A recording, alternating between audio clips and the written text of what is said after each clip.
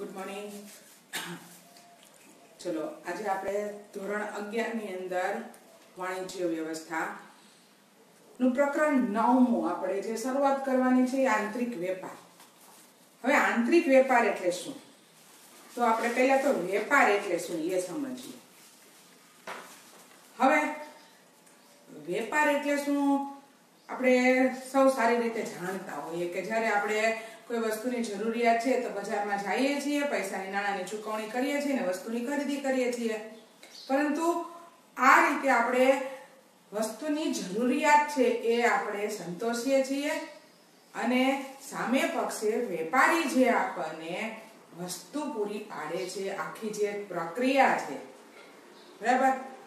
આપણે જાણીએ છીએ કે જ્યારે નાણાંનો ઉદ્ભવ નહોતો થયો, ત્યારે આપણે વેપાર કઈ રીતે થતો? તો કે વસ્તુના બદલામાં વસ્તુ બદલા પદ્ધતિથી, જેને સાટા પદ્ધતિ, વિનિમય પ્રથા કહેવામાં આવતું. ઘણા બધા નામ હતા એના. આ રીતે આપણે જે વસ્તુની જરૂરિયાત અને સેવાની જરૂરિયાત છે એ પૂરી કરતા હતા. પરંતુ અત્યારે આપણે જાણીએ છીએ કે નાણાંનો ઉદ્ભવ અને અત્યારે તો આધુનિક સમયની અંદર આપણે ઘણા બધા પ્રકારે ચૂકવણી કરી અને વસ્તુ મેળવીએ છીએ. તો આ જે લેતી દેતીની આખી પ્રક્રિયા છે, ધંધાકીય સેવાઓ છે આ દરેક બાબતને આપણે વેપાર, એટલે કે વસ્તુના બદલામાં વસ્તુ, વસ્તુના બદલામાં સેવા, સેવાના બદલામાં વસ્તુ, આ બધી વસ્તુ તથા અત્યારે નાણાંનો ઉદ્ભવ થતા એક સામાન્ય, સરળ અને આપણે કહીએ ને કે ચૂકવણીનું એક જ માધ્યમ દ્વારા આપણે વસ્તુ અને સેવાઓ મેળવી શકીએ છીએ. નાણું.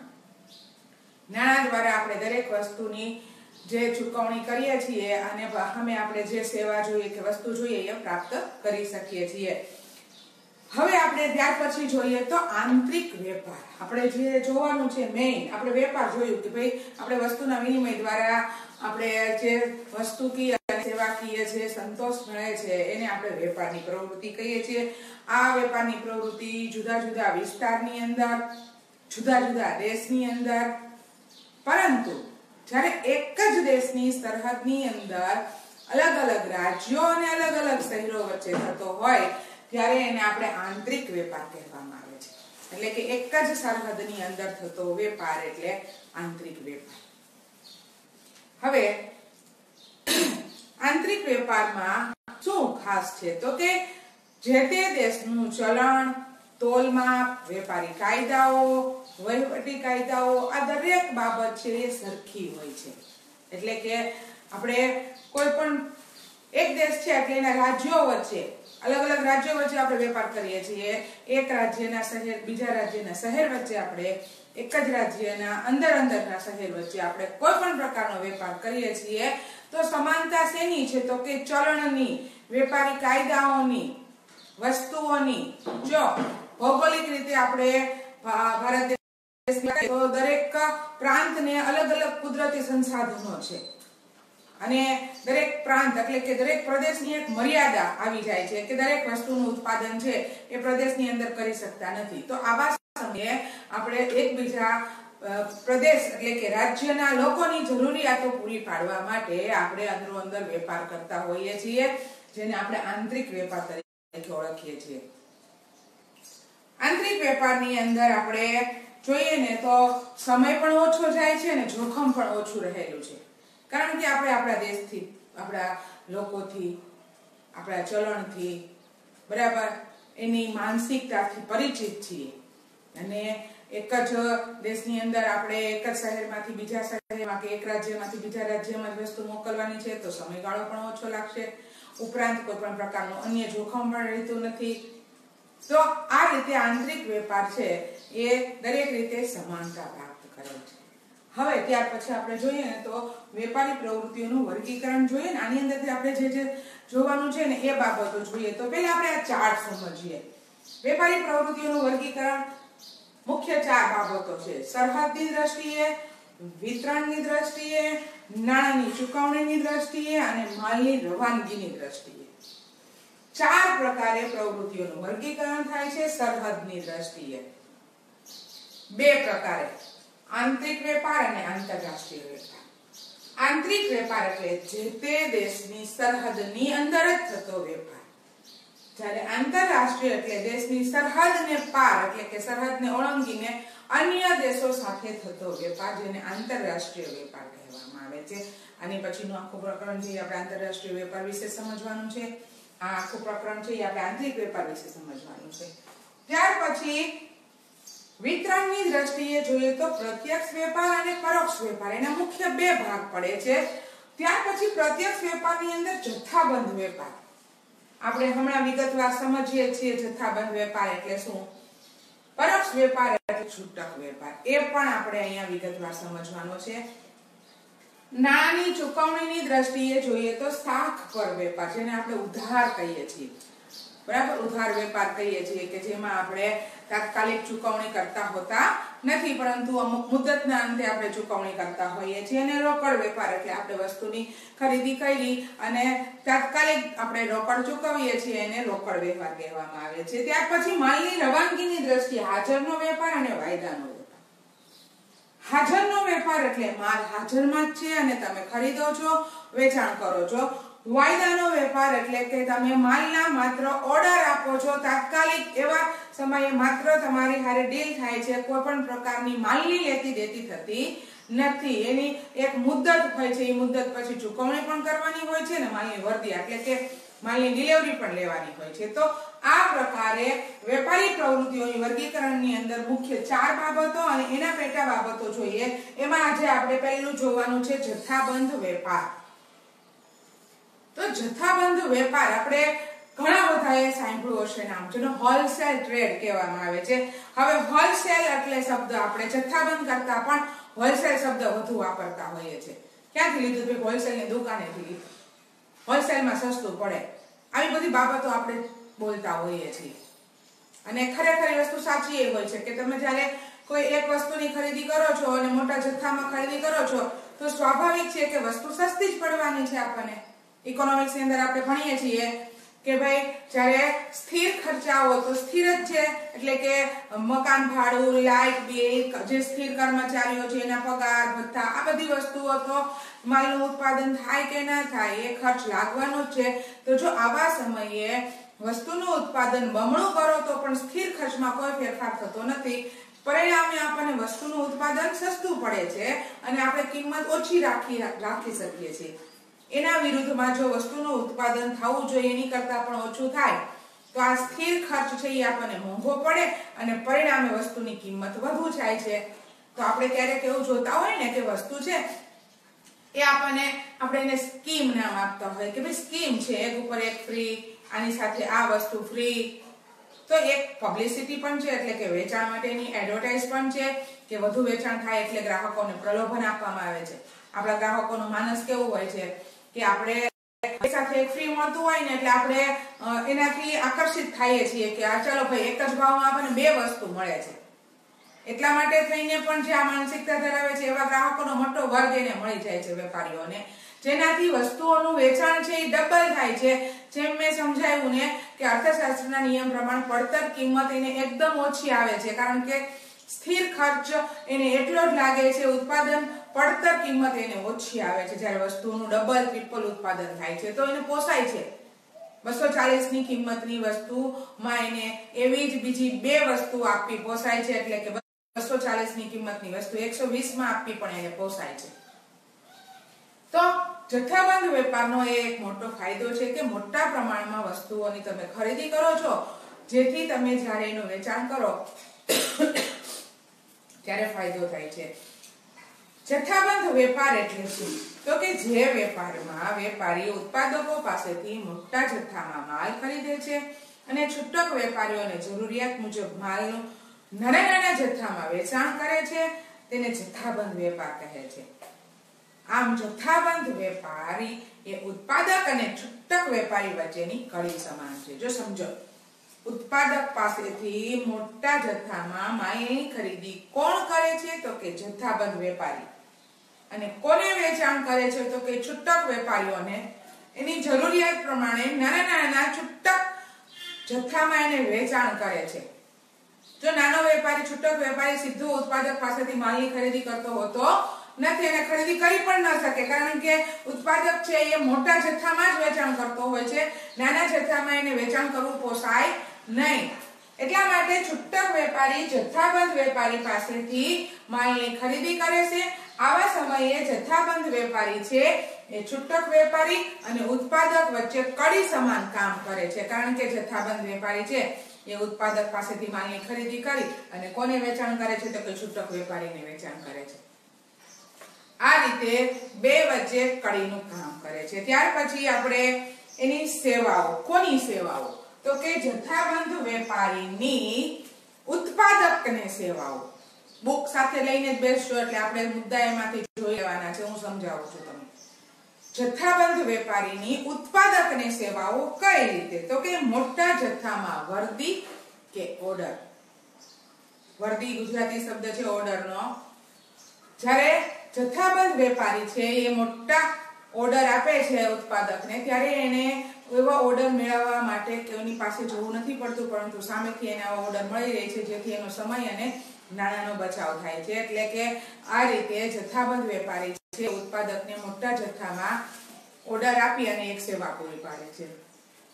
ત્યાર પછી છે બજારની માહિતી. હવે જો ઉત્પાદક છે ને, એ ડાયરેક્ટ ગ્રાહકો સાથે સંકળાયેલો નથી એને તો માત્ર વસ્તુનું ઉત્પાદન કરવાનું છે. પણ જથ્થાબંધ વેપારી છૂટક વેપારી સાથે સંકળાયેલો છે અને છૂટક વેપારી ગ્રાહક સાથે સંકળાયેલો છે. તો આવા સમયે ગ્રાહક દ્વારા કોઈ પણ ફરિયાદ છે કે કોઈ પણ સુધારાકીય બાબતો છે, એ છૂટક વેપારીને જાણ કરવામાં આવે છે અને છૂટક વેપારી કોને જાણ કરે છે? જથ્થાબંધ વેપારીને. અને જથ્થાબંધ વેપારી કોને જાણ કરે છે? તો કે ઉત્પાદકને. આ રીતે એને બજારની માહિતીનો પણ ખ્યાલ આવે છે કોના દ્વારા? તો કે જથ્થાબંધ વેપારી દ્વારા. કે બજારમાં કેવી વસ્તુનું કેટલા પ્રમાણમાં માંગ છે, કેવી ગ્રાહકોની માંગ છે, આ રીતે બજારની માહિતી છે એ જથ્થાબંધ વેપારી દ્વારા ઉત્પાદકને મળે છે. ત્યાર પછી માલના સંગ્રહમાંથી મુક્તિ. હવે જથ્થાબંધ વેપારીએ ઓર્ડરથી જ માલ તૈયાર કરાયો છે એટલે માલ જેવો તૈયાર થશે એવો સીધો કારખાનામાંથી જથ્થાબંધ વેપારીના ગોડાઉન સુધી પહોંચાડી દેવામાં આવે છે. જેથી ઉત્પાદકે એના સંગ્રહ માટેની કોઈ બીજી વ્યવસ્થા ઊભી કરવી પડતી નથી. કારણ કે જથ્થાબંધ વેપારી પોતે એનો માલનો સંગ્રહ પોતાના મોટી મોટી વખાળોમાં કરે છે. આવા સમયે ઉત્પાદકને આ સંગ્રહ કરવાના કાર્યમાંથી મુક્તિ મળે છે. તો આ એક એની સૌથી મોટી સેવા છે.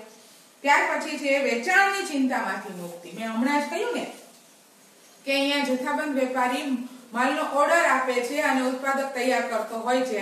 એટલે એને માલના ઉત્પાદન પછી વેચાણ કઈ રીતે કરવું એની કોઈ ચિંતા રહેતી નથી અને એ સીધો જ માલ છે એ વેપારીને પૂરો પાડે છે અને આ રીતે એને વેચાણની ચિંતામાંથી પણ મુક્તિ મળે છે. ત્યાર પછી મૂડીની છૂટ. હવે ક્યારેક કેવું બને કે ઓર્ડર આપે પછી જથ્થાબંધ વેપારી માલ ખરીદે કે ના ખરીદે એટલે ક્યારેક જથ્થાબંધ વેપારી દ્વારા મોટા ભાગની જે એની કિંમત છે એ ઉત્પાદકને ચૂકવી દેવામાં આવતી હોય છે. જેથી બે ફાયદા થાય છે. કે ઉત્પાદકને નુકસાનીનો ભય રહેતો નથી, ઉપરાંત એની પાસે મૂડી હોવાથી એને બીજી કોઈ વ્યવસ્થા કરવી પડતી નથી અને છૂટથી એ મૂડીનો ઉપયોગ કરી શકે છે. ત્યાર પછી જોખમોમાંથી મુક્તિ. હવે સ્વાભાવિક છે, હમણાં જ મેં કહ્યું કે એને સંગ્રહ કરવો પડતો નથી, એટલે કોઈ જોખમે રહેતું નથી. કે માલનો બગાડ થશે, ચોરાઈ જશે, કોઈ પણ પ્રકારે અન્ય રીતે નુકસાન થશે કે કોઈ બગાડ થશે, આવી કોઈ પણ પ્રકારની એને ચિંતા રહેતી નથી. તો આ એક બાબત પણ સૌથી મોટા મોટી છે જથ્થાબંધ વેપારી દ્વારા ઉત્પાદકની સેવા છે. ઉત્પાદકને સેવા પૂરી પાડે છે કે ઉત્પાદકને કોઈ પણ પ્રકારનું જોખમ લેવાની જરૂરિયાત જ નથી. કારણ કે માલનું જેવું ઉત્પાદન થાય છે જથ્થાબંધ વેપારીને એની વર્તી એટલે કે એનો માલ પહોંચાડી દેવામાં આવે છે. તો આવા સમયે એ બીજા કોઈ પણ પ્રકારના જોખમમાંથી પણ મુક્ત રહી શકે છે. ત્યાર પછી આપણે આ કઈ સેવાઓ જોઈ? આપણે જે આ છ સેવાઓ જોઈ, એ કઈ સેવા જોઈ? તો કે જથ્થાબંધ વેપારી દ્વારા ઉત્પાદકને. હવે આ જથ્થાબંધ વેપારી, છૂટક વેપારીને કઈ સેવાઓ પૂરી પાડે છે? આપણે એ જોઈએ. તો જરૂરિયાત પ્રમાણે માલ. જો અહીંયા સમજો હવે જથ્થાબંધ વેપારી દ્વારા છૂટક વેપારીને કઈ સેવાઓ છે? તો કે જરૂરિયાત પ્રમાણે માલ. હવે છૂટક વેપારી છે, ત્યારે શક્ય છે કે એની પાસે એવી કોઈ સંગ્રહ માટેના ગોદામોની કે અન્ય એવી કોઈ જગ્યા હોતી નથી કે મોટા પ્રમાણમાં લાવે અને એનો સંગ્રહ કરીને પછી છૂટક છૂટક વેચાણ કરે. ત્યારે આવા સમયે જથ્થાબંધ વેપારી એની જરૂરિયાત પ્રમાણે એને માલ આપ્યા કરે છે. આ રીતે એને બિનજરૂરી કોઈ પણ પ્રકારની વ્યવસ્થા કરવી પડતી નથી અને છૂટક વેપારી જેમ જેમ વેચાણ થતું જાય છે અને જરૂરિયાત જેમ જેમ ઉદ્ભવે છે, એમ જથ્થાબંધ વેપારી દ્વારા એને માલ પૂરો પાડવામાં આવે છે. શાખ પર માલ. હવે છૂટક વેપારી છે એ એક સાથે પૂરેપૂરા માલની કિંમત ચૂકવી શકવા સક્ષમ ન હોય ત્યારે જથ્થાબંધ વેપારી દ્વારા એને શાખ પર માલનું પણ વેચાણ કરવામાં આવે છે. અને આ રીતે છૂટક વેપારી છે એ અમુક સમયની મુદત મેળવી શકે છે અને માલને વેચાણ કરી શકે છે. તો આ રીતે જથ્થાબંધ વેપારી શાખ પર માલ વેચીને છૂટક વેપારીને સેવા પૂરી પાડે છે.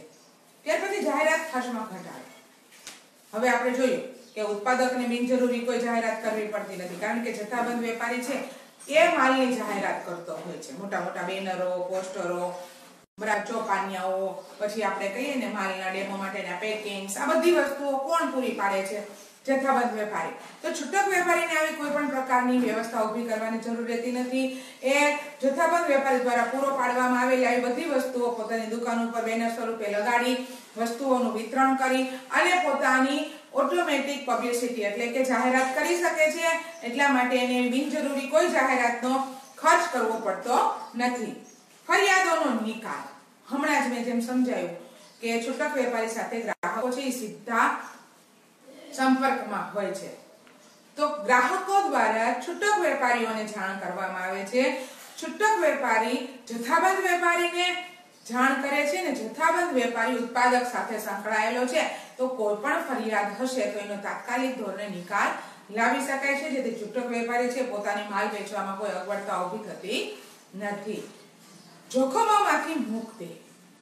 જેમ ઉત્પાદકને કોઈ જોખમ નથી ને, એમાં એ છૂટક વેપારીને કોઈ જોખમ નથી. કારણ કે એને કોઈ પણ પ્રકારનો બિનજરૂરી માલનો સંગ્રહ કરવાની જરૂરિયાત નથી. જ્યારે જેમ જરૂરિયાત છે, તેમ તેમ માલ લેતો જાય છે.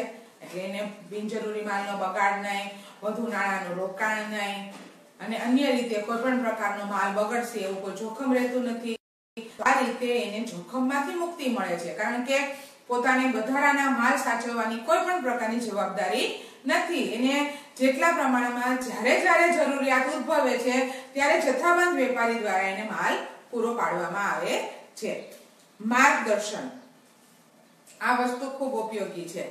કારણ કે છૂટક વેપારી છે ને, એને વસ્તુનું પૂરેપૂરું જ્ઞાન નથી. એ તો વસ્તુ લાવે છે ને, વેચાણ કરે છે. પરંતુ ગ્રાહકો એટલા બધા જાગૃત થઈ ગયા છે કે આપણે વસ્તુ લેવા જઈએ ને, ત્યારે પૂછીએ, આનો આમ તો નહીં થાય ને? આનો કલર નહીં થાય ને? આ વસ્તુ નુકસાન તો નહીં કરે ને? આ બધી વસ્તુઓ. આપણે ગ્રાહકો છે છૂટક વેપારીને જ પૂછતો હોય છે. જો આવા સમયે છૂટક વેપારીને કોઈ પણ પ્રકારનું જ્ઞાન ન હોય, તો એ ગ્રાહકોને સંતોષ આપી શકતો નથી અને પરિણામે એનો ગ્રાહક વર્ગ છે એ તૂટવા માંડે છે. આવા સમયે જથ્થાબંધ વેપારી છે એ છૂટક વેપારીને આ બધું પ્રકારનું જ્ઞાન પૂરું પાડે છે. એટલે કે એને દરેકે દરેક બાબતોથી માહિતગાર કરે છે. જે વસ્તુનું વેચાણ છે એ વસ્તુની પૂરેપૂરી પ્રોડક્ટથી એને માહિતગાર કરે છે. અને આ રીતે એ છૂટક વેપારી છે એ આના માર્ગદર્શનનો લાભ લે છે અને વેચાણમાં વધારો કરી શકે. તો જો અહીંયા આપણે કેટલી બાબતોનો અભ્યાસ કર્યો હતો કે આંતરિક વેપાર, એટલે એમાં પહેલા આપણે વેપાર એટલે શું જોયું? ત્યાર પછી આંતરિક વેપાર એટલે શું? આંતરિક વેપારનો શું ફાયદો છે એ જોયો. ત્યાર પછી આપણે વેપારી પ્રવૃત્તિઓનું વર્ગીકરણ, મુખ્ય ચાર બાબતો એની અંદર આપણે આંતરિક અને આંતરરાષ્ટ્રીય વેપારનો અર્થ જોયો અને એમાં વિતરણની દ્રષ્ટિએ જે જોવાનું હતું, પ્રત્યક્ષ વેપાર, એમાં આપણે જથ્થાબંધ વેપારની ચર્ચા કરી. હવે જે નેક્સ્ટ આપણે ચર્ચા કરવાની છે એ છૂટક વેપારની છે. પછી જોઈશું. થેન્ક યુ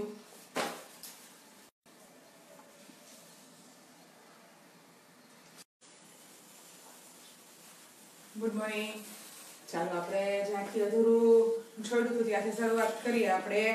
જે બીજો પ્રકાર લેવાનો હતો એ છે છૂટક વેપાર. હવે આપણે જથ્થાબંધ વેપારી વિશેની સરસ મજાની ચર્ચા કરી. એની અંદર આપણે છૂટક વેપાર પણ વેપારી આવ્યો હતો. એટલે આપણને એ તો ખ્યાલ આવી ગયો. ત્યારે આપણે જોયું હતું કે જથ્થાબંધ વેપારી છે ને, એ ઉત્પાદક અને છૂટક વેપારી વચ્ચેની કડી સમાન છે. કારણ કે ઉત્પાદક પાસેથી ખરીદે છે, છૂટક વેપારીને વેચે છે. તો હવે આ છૂટક વેપાર એટલે શું? તો હવે આપણે બધા જે ગ્રાહક વર્ગ છે, એ સીધા કોની સાથે સંપર્કમાં છીએ? તો કે છૂટક વેપારી સાથે. આપણે એમની પાસેથી ખરીદી કરીએ છીએ. કોઈ પણ પ્રોડક્ટ આપણે લેવું હોય કોઈ પણ કંપનીની કોઈ પણ પ્રકારની વસ્તુની ખરીદી જેની પાસેથી કરીએ છીએ, એને આપણે છૂટક વેપાર કહેવામાં બરાબર? છૂટક વેપારી પાસેથી જ ખરીદી કરીએ છીએ ને જે વેપારમાં જથ્થાબંધ વેપારી કે ઉત્પાદક પાસેથી છૂટક અથવા મોટા જથ્થામાં માલ ખરીદી ગ્રાહકને જે પૂરો પાડવામાં આવે છે, એની જરૂરિયાત મુજબ એને છૂટક વેપાર કહેવામાં આવે છે. ક્યારેક છૂટક વેપારી સીધો ઉત્પાદક સાથે સંકળાયેલો હોય, તો એની પાસેથી મોટા જથ્થામાં ખરીદે છે, અથવા તો જથ્થાબંધ વેપારી પાસેથી માલ ખરીદે છે, અને એ ગ્રાહકોને એની જરૂરિયાત પ્રમાણે માલ પૂરો પાડે છે, આ આખી પ્રક્રિયાને છૂટક વેપાર કહેવામાં આવે છે. છૂટક વેપારી ગ્રાહકો સાથે સીધો સંપર્કમાં હોય છે, તેથી તેમની જરૂરિયાતોને સમજે છે એની માંગને સમજે છે અને એ પ્રમાણે જો એને કોઈ પણ પ્રકારની ફરિયાદ છે, તો એનો નિકાલ એટલે કે એનો ઉકેલ પણ લાવી શકે છે. તો આ આખી જે પ્રક્રિયા છે એને છૂટક વેપાર કહેવામાં આવે છે. હવે આપણે ત્યાર પછી આનો અર્થ જોયો, હવે જોઈએ છૂટક વેપારીની સેવાઓ. છૂટક વેપારીની સેવાઓ. કોને? તો કે છૂટક વેપારીની જથ્થાબંધ વેપારી અને ઉત્પાદકને સેવાઓ. અહીંયા છૂટક વેપારી છે જથ્થાબંધ વેપારી અને ઉત્પાદકને કયા પ્રકારે સેવા પૂરી પાડે છે એ જોઈએ. તો પહેલું છે બજાર અંગેની માહિતી. જો આપણને યાદ હોય તો મેં હમણાં જથ્થાબંધ વેપારમાં જ્યારે સમજાવતી હતી, ત્યારે જથ્થાબંધ વેપારીની ઉત્પાદકને જે સેવાઓ છે, એની અંદર આ જ મુદ્દો સેમ આવ્યો હતો. તો બજાર અંગેની માહિતી ઉત્પાદકને કોણ પૂરી પાડે છે? તો કે છૂટક વેપારી પૂરી પાડે છે. કારણ કે છૂટક વેપારી સાથે ગ્રાહકો સીધા સંપર્કમાં છે, સીધા સંકળાયેલા છે. તો બદલાતી ફેશન, બદલાતો સમય, આ માહોલ સાથે ગ્રાહકોની શું જરૂરિયાત છે, એ આખી બજારમાં કઈ પરિસ્થિતિ પ્રવર્તે છે, એ બધી જ માહિતી ઉત્પાદક કે જથ્થાબંધ વેપારીને કોના દ્વારા મળે છે, તો કે છૂટક વેપારી દ્વારા. એટલે કે બજાર અંગેની સંપૂર્ણ માહિતી છે એ છૂટક વેપારી દ્વારા ઉત્પાદકને પૂરી પાડવામાં આવે છે. જેથી ઉત્પાદક છે એ એ બજારની પરિસ્થિતિને અનુરૂપ છે એ વસ્તુનું ઉત્પાદન કરે છે અને વેચાણ વધારી શકે છે. જાહેરાતમાં મદદરૂપ. હવે છૂટક વેપારી છે એ દરેક પ્રકારની વસ્તુ, દરેક કંપનીની વસ્તુઓ રાખતો હોય છે. એટલે આપણે કહીએ ને કે ઓટોમેટિક છે એ ઉત્પાદકને બધી જ વસ્તુની છે એ જાહેરાત થઈ જતી હોય છે. કારણ કે કોઈ પણ વેપારીનો સારામાં સારો વેપાર ચાલતો હોય, ત્યાં મોટા મોટા ઉત્પાદકો છે કે જથ્થાબંધ વેપારીઓ છે ને, એ પોતાની વસ્તુઓ એને આપી આવે છે કે ભાઈ તમે રાખો, વેચાણ થાય છે કે નહીં. તો એક સૌથી સારામાં સારું માધ્યમ છે જાહેરાતનું. કારણ કે ગ્રાહક પોતે ઉપયોગ કરે અને તમે એને જાહેરાત દ્વારા એટલે કે ટીવીમાં એડવર્ટાઇઝ દ્વારા, ચોપાનિયા દ્વારા સમજાવો, એની કરતા છૂટક વેપારી દ્વારા એ ગ્રાહકો સાથે સીધો સંપર્કમાં છે, એના જે કાયમી ગ્રાહકો છે, એને વેપારી પર પૂરો ભરોસો છે. અને આ વિશ્વાસને લીધે જ જ્યારે વેપારી એમ કહેશે કે આ વસ્તુ છે એ વાપરવા માટે સારી છે, તો ગ્રાહક તરત એનો વિશ્વાસ કરે છે અને વસ્તુ વાપરવા માટે પ્રયત્ન કરે છે. તો જાહેરાત માટેનું સૌથી સારામાં સારું માધ્યમ હોય તો એ છૂટક વેપારી છે. ત્યાર પછી શાકપાત્રતામાં વધારો. જો છૂટક વેપારી છે, એ વ્યાજબી ભાવે સારો માલ પૂરો પાડે ને તો વેચાણ વધે છે. અને એ આવું ક્યારે કરી શકે? કે જ્યારે એને જથ્થાબંધ વેપારી દ્વારા જે માલ પૂરો પાડ્યો છે, એની એક મુદત આપવામાં આવે ચૂકવણી માટેની, એટલે કે એને સાથ પૂરી પાડવામાં આવે. એટલે વેપારીને બિનજરૂરી કોઈ નાણું અન્ય જગ્યાએથી ઉછીનું લઈને એનું વ્યાજ ચૂકવી, રોકાણ કરવાની આવી કોઈ પણ પ્રકારની માથાકૂટ રહેતી નથી, તો એ છે એ ગ્રાહકોને વ્યાજબી કિંમતે માલ પૂરો પાડી શકે છે, જેથી ગ્રાહક વર્ગ છે એ એના તરફ આકર્ષાય છે અને મોટા પાયે વેચાણ કરી શકાય છે. તો આ રીતે જથ્થાબંધ વેપારી ને એ મોટા પાયે માલ માટેનો ઓર્ડર પૂરા પાડે છે ને, જથ્થાબંધ વેપારી દ્વારા ઉત્પાદકોને આવા ઓર્ડર પૂરા પાડવામાં આવે છે. જેથી જેટલું વધુ વેચાણ છૂટક વેપારી દ્વારા થાય છે, એટલો જ ફાયદો જથ્થાબંધ વેપારી અને ઉત્પાદકને થાય છે. ત્યાર પછીનો મુદ્દો છે છૂટક વેપારીના ફાયદા અને ફાયદાઓ.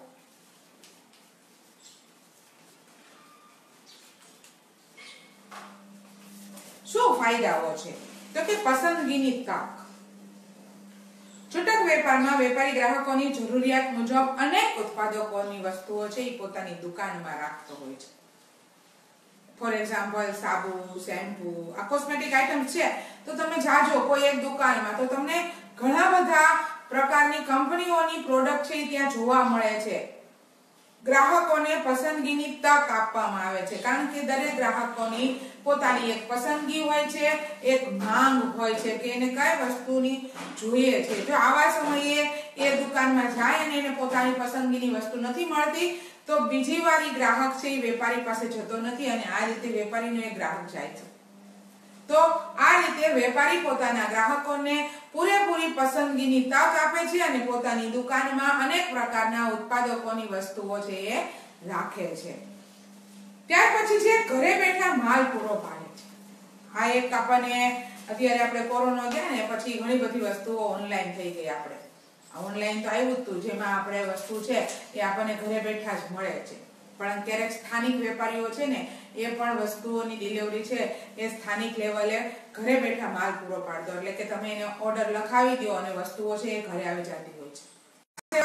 એને સારી હોય છે. કારણ કે જો આપણે કોરોના કાળની અંદર તો જોયું કે ભાઈ આપણે બહાર જતા પહેલા એટલો ડર હતો અને આ બધી વસ્તુઓને લીધે આપણે વિચાર કરીને જતા કે વસ્તુ ખરીદવા જાવું કે ના જાવું ભીડમાં જાવું કે ના જાવું આવા સમયે જો વેપારીઓ દ્વારા ગ્રાહકોને આ સેવા પૂરી પાડવામાં આવે તો એના માટે સૌથી મોટામાં મોટો ફાયદો છે?